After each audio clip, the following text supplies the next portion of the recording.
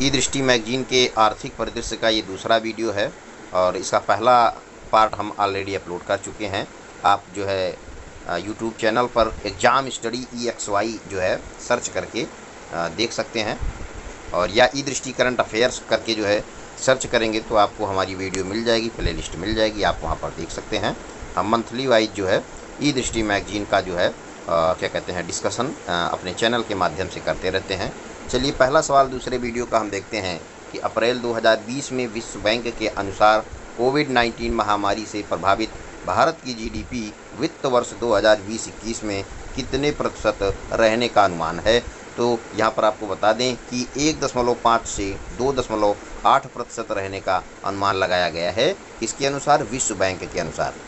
यानी कि विश्व बैंक ने भारत की जीडीपी वित्त वर्ष 2020-21 में कितने प्रतिशत रहने का अनुमान लगाया है? तो वो लगाया है एक दशमलव पाँच प्रतिशत से दो दशमलव आठ प्रतिशत।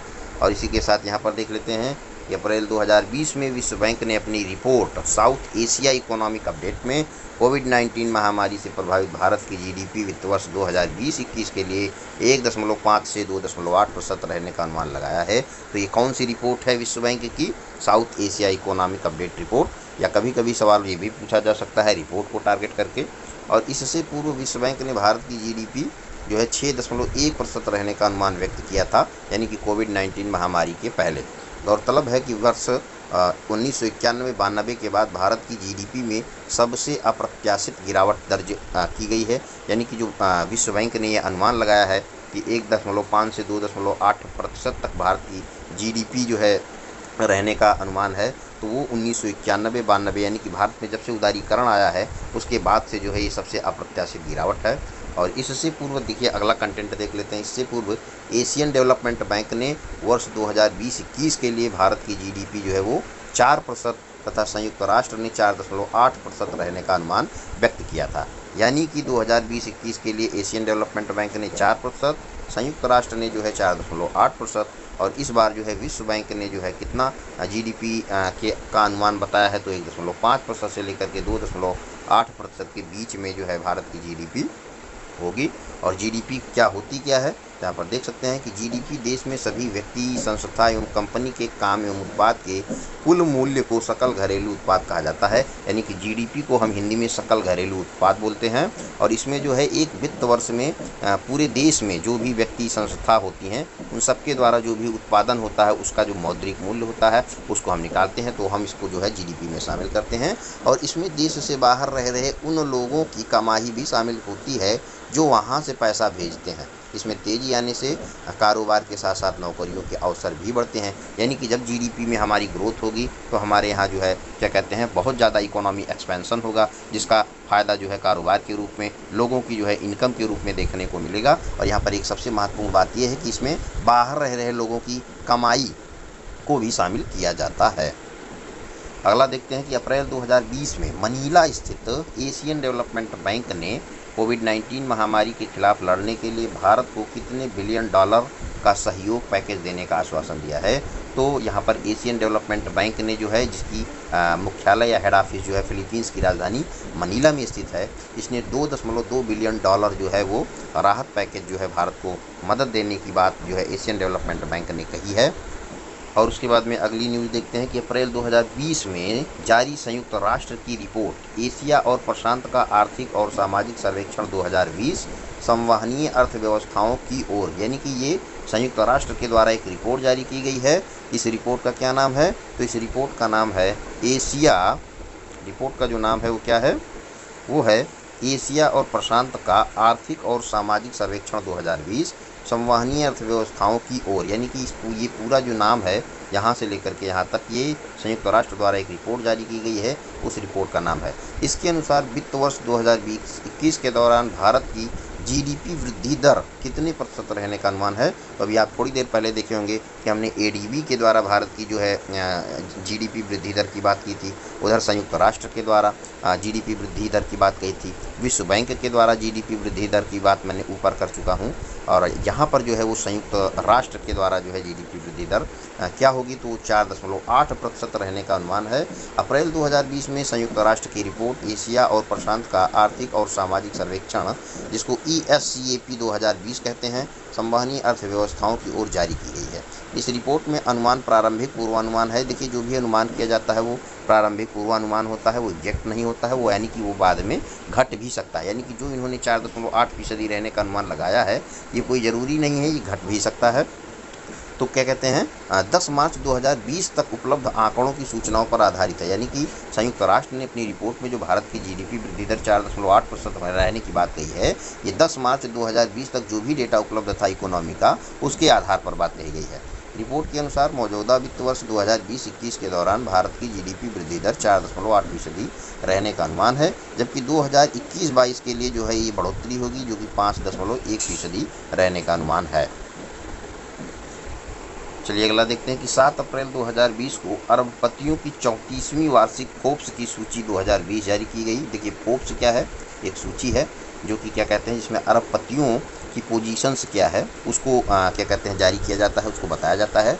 इस वर्ष की सूची में विश्व के सर्वाधिक धनी व्यक्ति का खिताब किसे प्राप्त हुआ है? तो जेफ बेजोस जो है वो विश्व के सबसे धनी व्यक्ति हैं, जो कि चौथा, चौंतीसवीं जो है ये सूची थी फोर्ब्स की। देख सकते हैं कि 7 अप्रैल 2020 को अरबपतियों की चौंतीसवीं वार्षिक फोर्ब्स सूची 2020 जारी की गई। तो कब जारी की गई है? 7 अप्रैल 2020 को। और कौन सा संस्करण था? तो ये जो है चौंतीसवां संस्करण था। तो इसमें जो है क्या बताया गया है? इसमें बताया गया है कि इस वर्ष की सूची में विश्व के सर्वाधिक धनी व्यक्ति का खिताब लगातार तीसरी बार। ये बहुत बड़ी बात है कि तीसरी बार जो है अमेजन के संस्थापक जो है अमेजन के जो प्रमुख हैं वो हैं जेफ बेजोस, इनको प्राप्त हुआ है। वह 113 बिलियन डॉलर की कुल संपत्ति के साथ इस सूची पर शीर्ष स्थान पर हैं। वहीं पर जो है माइक्रोसॉफ्ट के जो है, प्रमुख बिल ग्रेट्स हैं दूसरे स्थान पे, और बर्नार्ड अर्नाल्ट जो है, एवं परिवार इनको मिला करके बर्नार्ड अर्नाल्ट ये तीसरे स्थान पे हैं। वारेन बफेट जो कि चौथे स्थान पे हैं एवं लैरी इलिशन जो कि पाँचवें स्थान पर हैं। तो पाँचों नाम ये याद करना ज़रूरी है। उसके बाद में जो है फेसबुक के जो संस्थापक हैं मार्क्स जूकरबर्ग, ये जो है वो सातवें स्थान पे हैं। और इसी के साथ में देख लेते हैं कि भारत में अरबपतियों की संख्या जो है वो कितनी है? वो 102 है और जिसमें से जो है सर्वाधिक अमीर जो है मुकेश अंबानी है, जिनकी कुल संपत्ति जो है तीन दशमलव छः आठ बिलियन डॉलर है, वो इक्कीसवें स्थान पर है और इससे पहले वो तेरहवें स्थान पर थे। यहाँ पर पूछा जा सकता है कि मुकेश अंबानी जो है वो कौन से स्थान पर पहले थे तो वो तेरहवें स्थान पर हैं। चूँकि यू में ना वो पी पी पहले के जो है करंट अफेयर्स थोड़ा पूछने का 2018 के पेपर में ट्रेंड देखने को मिला है। और उसके बाद में वीमेंस को देख लेते हैं, विश्व की सबसे धनी महिला वालमार्ट की संस्थापक सैम वाल्टन है। सैम वाल्टन की बेटी एलिस वाल्टन है, ठीक है? तो यहाँ पर एक सवाल ये भी बन सकता है कि वालमार्ट के संस्थापक कौन है? या सूची को, एक सूची को दूसरी सूची से मिलान करने के लिए भी आ सकता है? तो वो सैम वाल्टन है और इनकी सब बेटी जो है, एलिस वाल्टन, सबसे जो है विश्व की धनी महिला हैं, जो कि नवें स्थान पर इस सूची में रही हैं, जो कि नवें स्थान पर रही हैं। और इस सूची के अनुसार विश्व के सबसे युवा अरबपति जो हैं, कौन है? वो काइली जेनर हैं, जो कि 22 वर्षीय हैं 22 साल के हैं काइली जेनर देख सकते हैं कि एक बिलियन डॉलर की संपत्ति के साथ उन्नीस सौ स्थान पे हैं और उसके बाद में सबसे वृद्ध जो है अरबपति कौन है? वो क्या कहते हैं, वो चांग युन चुंग, युनचुंग हैं। और क्या कहते हैं जो कि एक दशमलव एक बिलियन डॉलर के साथ में है उनकी संपत्ति। यानी कि हमने यहाँ पर कई चीज़ देख लिया। एक तो विश्व के सबसे वृद्ध जो है आ, क्या कहते हैं आरपति कौन है? उसके बाद में सबसे युवा अरबपति कौन है? विश्व की सबसे धनी महिला कौन है? हमने इसको भी देखा। उसके बाद में भारत में सबसे आ, क्या कहते हैं धनी व्यक्ति कौन है? और विश्व स्तर पर हमने सबसे धनी व्यक्ति देखा जिसमें तीसरी बार अमेजन के प्रमुख जेब बेजोस हैं। और दूसरे स्थान पर जो है वो बिल गेट्स हैं। तीसरे स्थान पर जो है वो कौन है? बर्नार्ड अर्नाल्ड एवं परिवार है। चौथे स्थान पे कौन है? वो बारिन बफेट है। पाँचवें स्थान पे कौन है? वो लैरी एलिसन है। और वहीं पर जो है, सातवें स्थान पर कौन रहे हैं? वो मार्क्स जुकरबर्ग हैं, जो कि फेसबुक के संस्थापक रहे हैं। तो सारी फोप्स में जो भी महत्वपूर्ण कंटेंट थे, जो भी महत्वपूर्ण तत्व थे, जो परीक्षा के लिहाज से पूछे जा सकते हैं, उसको हमने यहाँ पर डिस्कस कर दिया है।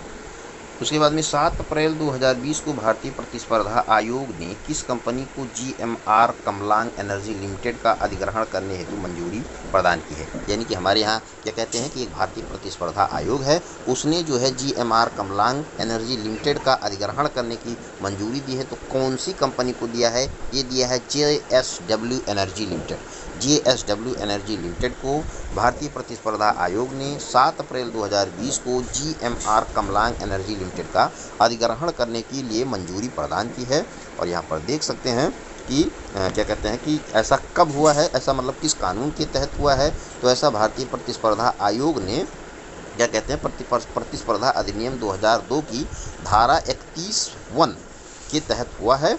और इस मंजूरी के तहत G S W Energy Limited G M R Kamalanga Energy Limited की शत प्रतिशत हिस्सेदारी का अधिग्रहण करेगी। तो यहाँ पर शत प्रतिशत हिस्सेदारी है, यानी कि हंड्रेड परसेंट जो है वो हिस्सेदारी जी एस डब्ल्यू क्या कहते हैं जो कंपनी का नाम है G H W Energy Limited जो होगी, वो इसकी हिस्सेदारी करेगी। और यहाँ पर देख सकते हैं कि G M R Kamalanga Energy Limited ये ये है क्या, ये उड़ीसा के टेकनाल ज़िले में कमलांगा गाँव में स्थित है।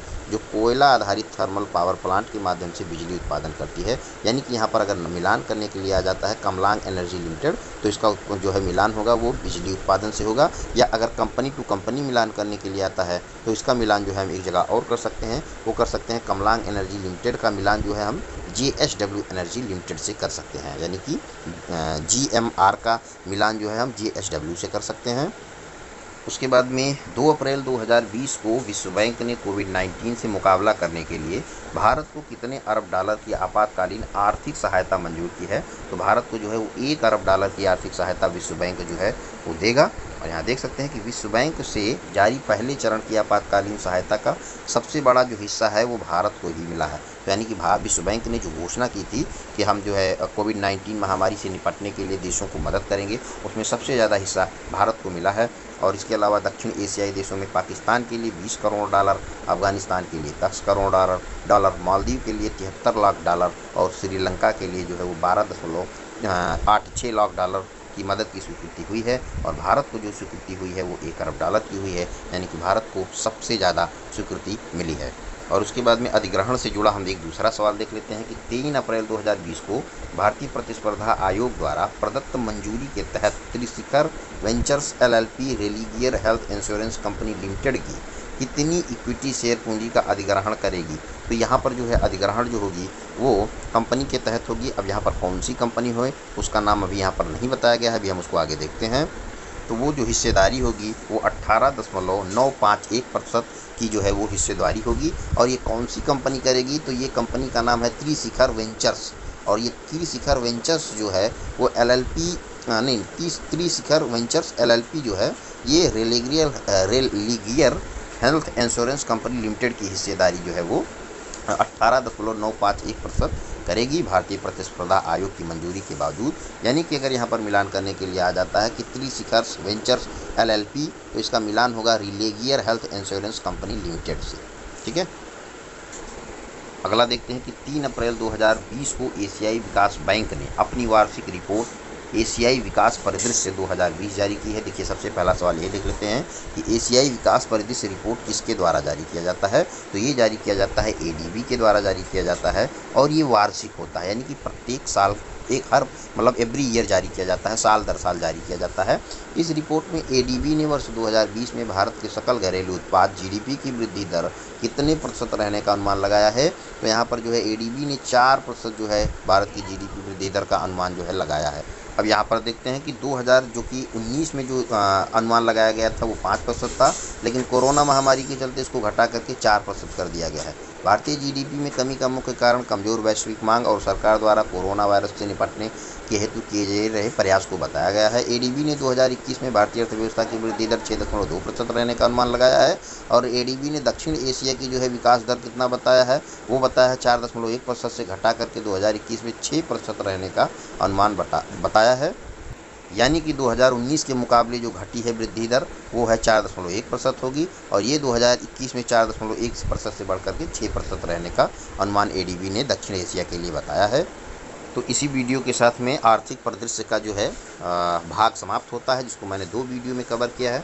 और वीडियो को आप लोग लाइक, शेयर और सब्सक्राइब करना ना भूलें और अपने सुझाव हमें जो है कमेंट बॉक्स में ज़रूर बताया करें। वीडियो को लाइक करें, शेयर करें और सब्सक्राइब करें।